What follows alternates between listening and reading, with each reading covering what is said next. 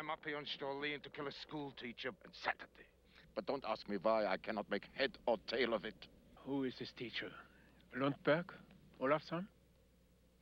Lundberg. But I don't know what he looks like.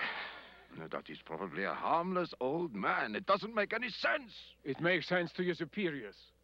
Or they wouldn't have given you the assignment. An order is an order. Good God, man! You are an officer of the SS! Have you forgotten? My honor is loyalty. Those words were supposed to be engraved on your soul. I know Lundberg. I will point him out to you.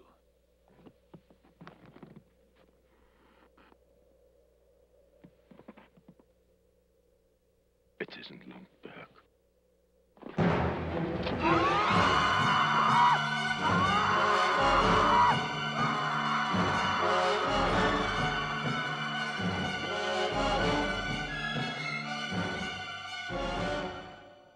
And it doesn't have